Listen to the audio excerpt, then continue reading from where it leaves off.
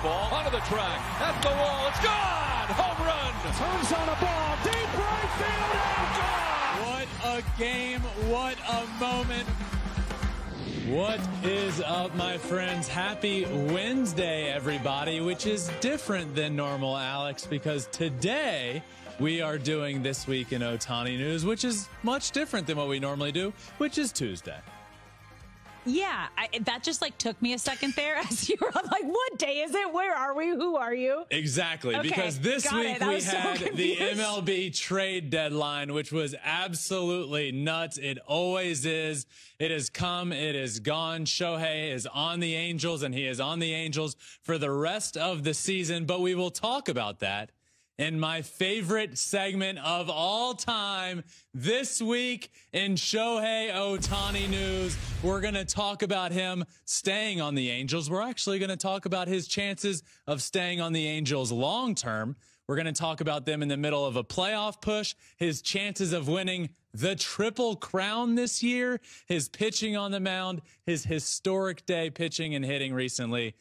There was a lot this week. And Alex, we have a lot to discuss on this Wednesday and this week in Shohei Ohtani news. We do. And, and it's crazy without Shohei Ohtani actually being moved that he was probably the biggest kind of discussion or player's name that was brought up within the trade deadline conversations two weeks leading up to the trade deadline. And then ultimately the Angels, a little over a week ago, taking him off the trade deadline and immediately being buyers. So that's that's the biggest news is Shohei Ohtani is staying in Anaheim at least for the remainder of this season. Well, yeah, that was the biggest conversation of, of the trade deadline is nothing could happen until we figured out what was happening with Shohei Ohtani. Is he available? Is he not available? And, you know, a, a few days ago, the Angels came out and said, you know what? He's not available. Saying to the entire world, we are going to be buyers. Mm-hmm. And buyers they became. The Angels really went for it at the trade deadline, added a lot of good arms, added Reynaldo Lopez, Lucas Giolito, CJ Cron, Randall Grichuk, who hit a homer in his first game with the Angels. So not only is Shohei staying, but respect where respect is due, Alex. The Angels decided to go all in, and they are going all in for one final last hurrah, if you will, Yeah. with Shohei. They got they got two more months two months to prove they can get into the playoffs with him and hopefully potentially re-sign him going forward. But the big news this week is that the trade deadline came and gone. Shohei was the biggest name mentioned for a long time, but he is ultimately staying. And the Angels, they're going for it. it- there's been a shift really since they got back from the All Star break. They really started winning games. They're seven and three in their their last ten games, and ever since they kind of made that decision to keep Shohei Ohtani and really go for it. It, there is a slightly different feel to this team, and they don't even have Mike Trout back yet, which is going to be another huge addition once he gets back, hopefully within a couple of weeks after having that hand injury this is do or die. This is the most important stretch in Angels history Oh, since yeah. winning the World Series in 2002. Because if you can make a push, if there is any possibility that you can, I mean, you have Houston and the Rangers in your division who are both playing great. Um, if you can get in in a wild card spot and make a push for the postseason. Now, you've said this before. We've heard Ken Rosenthal say it before that you guys were unsure that Shohei Ohtani would actually re sign with the Angels once he's a free agent next season. What are the chances now that you think that Shohei would re sign with the Angels next year? You know, Alex, this was not that long ago, and that was putting it rather mildly. From Ken, pretty much said Blunt, no way. He ain't. The, Yeah. Shohei, he's. I'll never say it's hundred percent, but he's not re-signing there. And you know, I've done a lot of thinking about this, and done a lot of listening to what comes out and what is said, and I do believe now that there is much more of a chance than I would have said a couple months ago. And I'm not saying it's a high chance. I'm Yeah. not. I, I just think there is more of a chance now that it does happen for a few different reasons. One, I think this is pretty telling to Shohei that they are all in right now. And really not I think that. He came out and said that. Said in my 6 years here, This is the first time we've been buyers, and that is really cool and something that I am really excited about. And also spoke about how much he loves the Angels and loves Anaheim and loves the fan base.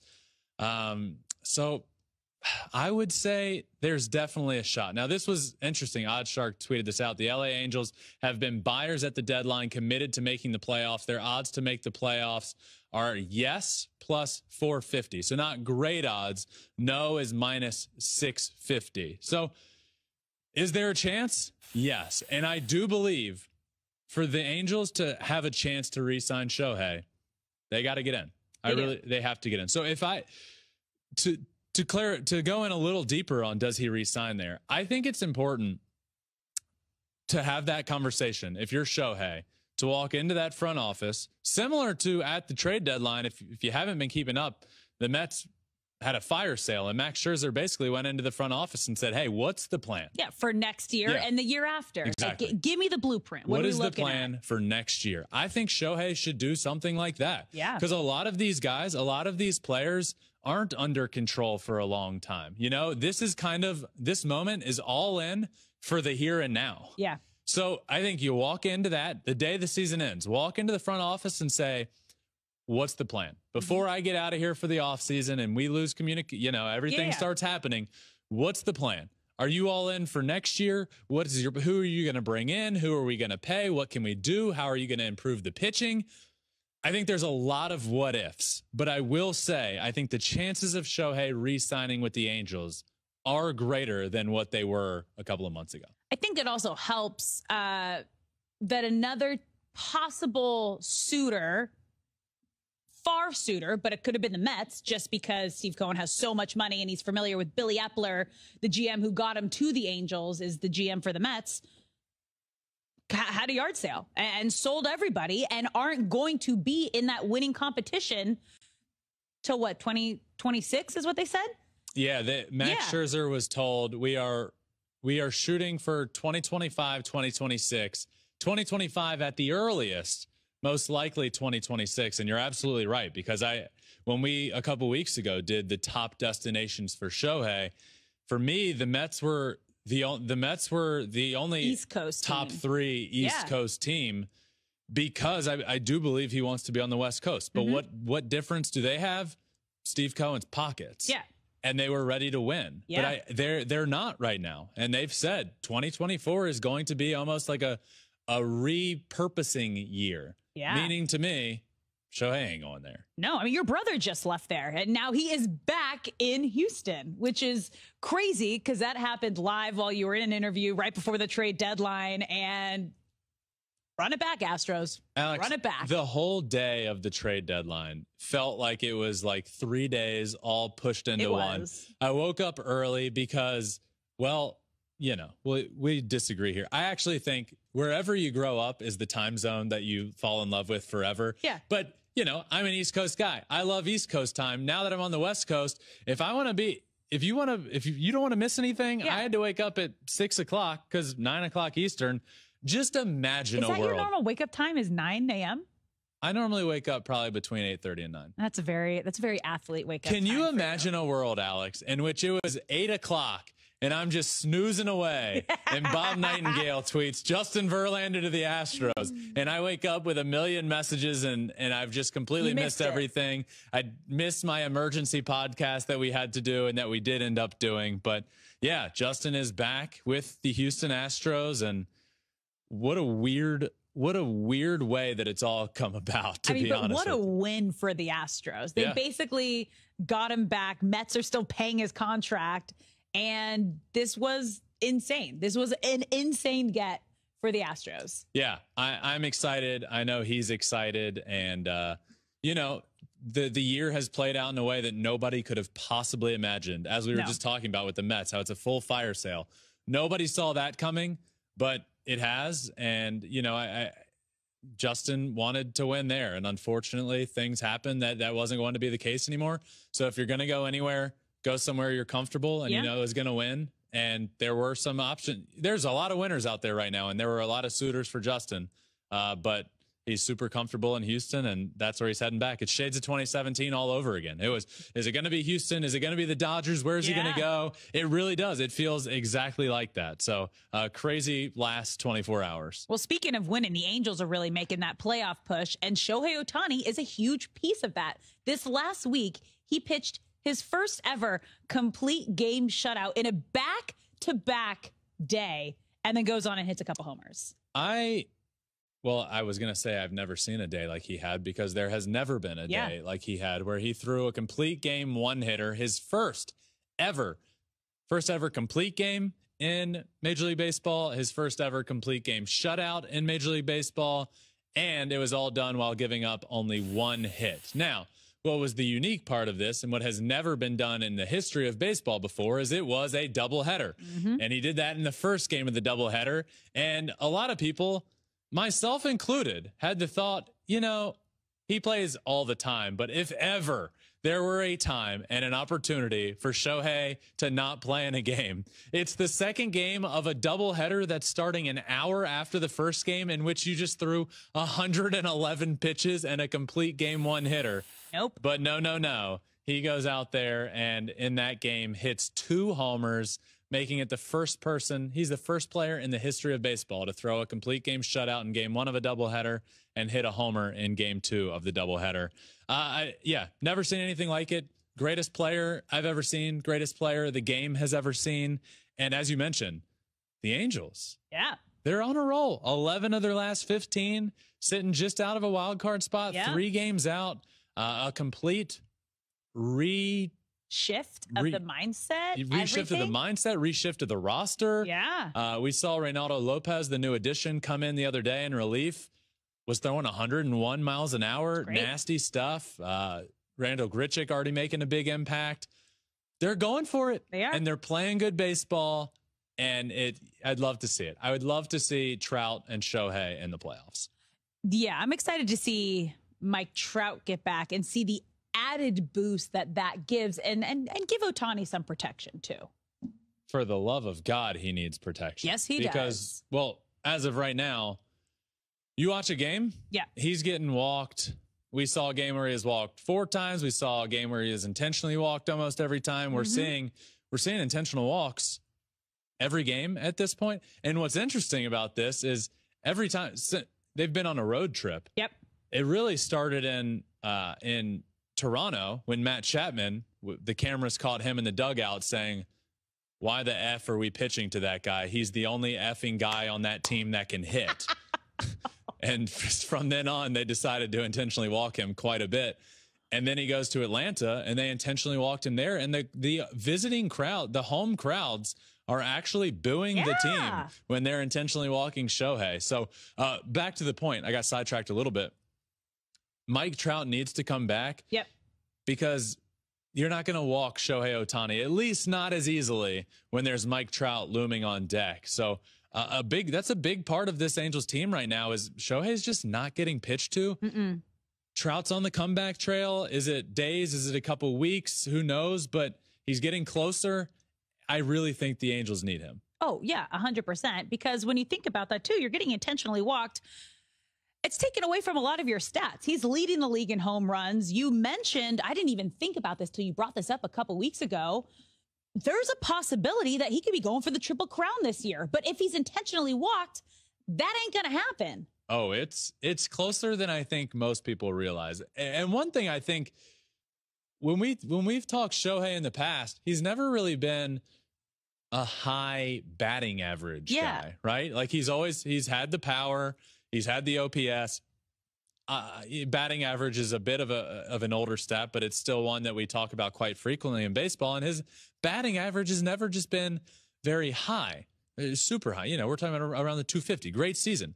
He's hitting over 300 this year. So you go through, you start thinking, well, triple crown. Mm-hmm. Let's talk about it. Home runs. He's leading the American League Yep. That's what it's all in the American League, but he's also leading all of Major League Baseball in homers with 39. He's one away from 40.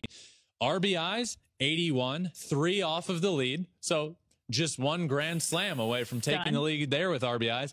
Batting average, 305. That's 16 points off of the American League lead, which isn't really that much. Who you know, the guy that's hitting quick math here, 321 one day going 0 for 4, a 4 for 4 day for Shohei. Oh, They're happen. right back neck and neck in that. It could so happen within a week. it could happen in a couple days, uh, more more realistically a week. But yes, it, Bo Bichette is the guy hitting 321 Oh, who well he's out for a bit of time so who you know that brings in a whole nother conversation if he misses an extended period of time he's not going to qualify for that anymore so he'll move out of that and then who's next up so Yandy Diaz is 318 so you know this is an interesting conversation that we should very much so have is Shohei Ohtani having the year he is on the mound absurd at the plate offensively, home run totals, OPS through the roof.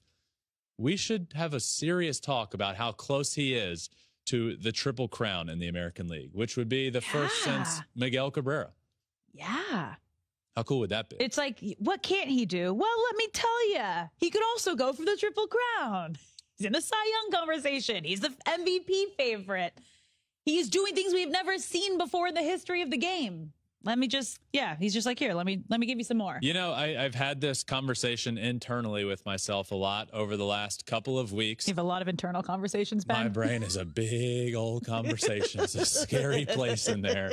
Um, I, you know, I've been very careful, and I, I've talked about this before in other in other episodes we do. Yeah.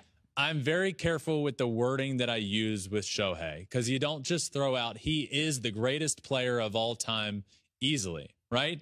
But I I I have now inched closer to that Mm-hmm. by saying he is the greatest player that we have ever seen. Mm-hmm. Now, this stretch he's on, if he does this for an extended period of time, there you have it. That's the conversation. The, the, the, the most difficult conversation in any sport to have greatest of all time is baseball. Well, if he does this for much longer, he's going to solve that for everybody, and the answer is going to be Shohei Ohtani. But as of right now, greatest player the game of baseball has ever seen, and I don't believe it's particularly close. And an interesting conversation I had, not with myself this time, with somebody online, is I, I called him that recently. And somebody said, well, he's neither the greatest pitcher to ever live or the greatest hitter to ever live. So how can you call him the greatest player ever? Or the, yeah, the greatest player we've ever seen. And an interesting argument that I've come up for this. Let me, let me toss it to you and, Yeah, and see I, if, I'm like see writing out greatest player we've ever seen, and I'm seeing if it has anything like cool sounding like go. See if you're on board with this Okay. analogy. Okay. Ready? Would you rather Yeah. one payment of a hundred dollars or two payments of seventy-five dollars? Two payments of seventy-five dollars. Well, the 100's bigger and better, right? No, it's more money. Exactly. And that's why Shohei might not be the greatest pitcher of all time. He might, might not be the greatest hitter of all time, but you combine what he's doing and you have the greatest player of all time. I don't even know what I'm doing with my hands, but he's the greatest player we've ever seen. You're landing the eagle. I'm here. doing. It's here. He's the GP West greatest player we've ever seen. We've ever. Okay. Yeah. Well, that that that's a that's an acronym for you. Yeah. Okay, that does it. That does it for my favorite segment this week in Shohei Ohtani News. And that also does it, Alex, for this Wednesday special edition of This Week in Ohtani News because it was Wednesday. We had to wait till the trade deadline Yep. ended to do this because what were the Angels going to do? Mm-hmm. What were we going to talk about with Shohei and the Angels and where they're positioned and how they're set up? So we waited. And I'm glad we waited because, oh boy, a lot happened yesterday. That was exciting. This was a fun one. Thank you all for listening to this Wednesday episode of This Week in Shohei Ohtani News. Make sure you're subscribed to Flippin' Bats wherever you listen to your podcast. We are also on all social media, including YouTube, where you can watch every single thing we do at Flippin' Bats Pod for all of them. Thank you all for listening to this episode. If you want to hear all about the trade deadline, Alex and I did a live trade deadline special episode yesterday. That is the most recent episode available on your podcast app. But until tomorrow, my friends, this is another episode of Flippin' Bats. Peace.